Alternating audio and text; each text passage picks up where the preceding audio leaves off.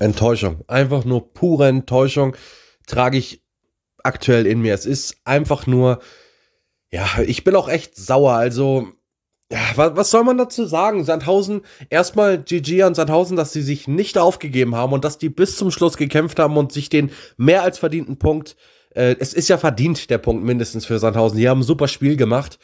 Und äh, ja, also wie gesagt, Riesenrespekt an Sandhausen, dass die trotz ihrer aktuellen Situation, die sie haben, ja, die haben sich gefreut nach dem Ausgleich, wie als wenn sie die Meisterschaft gewonnen hätten. Und das zeigt doch, wie geil dieses Team eigentlich ist.